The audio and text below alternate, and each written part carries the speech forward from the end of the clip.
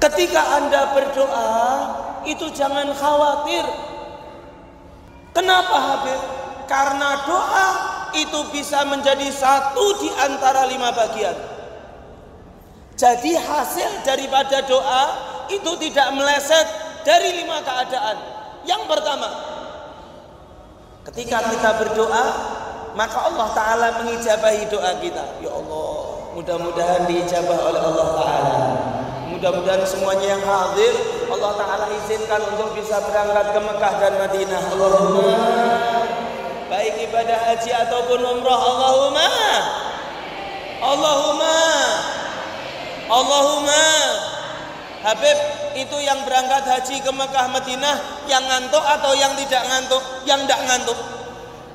Kalau yang ngantuk gimana? Sampai bandara Sembinggan nganter doang pulang lagi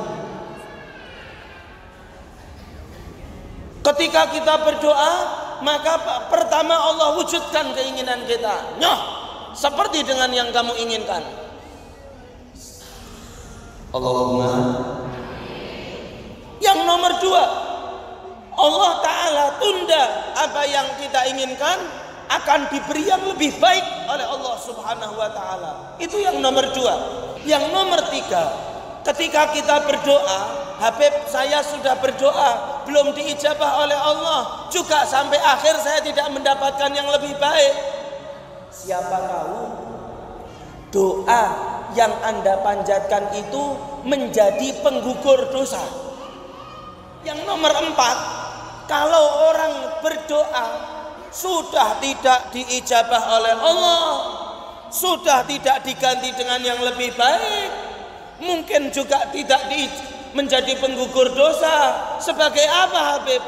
Menolak balak yang harusnya ada musibah cuman karena doanya ini Allah taala tahan musibahnya. Dengan doa la yaruddul qadha illa doa tidaklah bisa menolak ketetapan Allah kecuali dengan doa-doa yang dipanjatkan oleh manusia kepada Allah Subhanahu wa taala. Nomor lima terakhir, doa yang kita panjatkan menjadi ibadah yang ada pahalanya dan pahalanya itu akan kita lihat kelak ketika amal timbangan kita ditimbang oleh Allah Subhanahu wa taala. Jadi kalau diajak berdoa jangan Anda mengatakan doa lagi, doa lagi.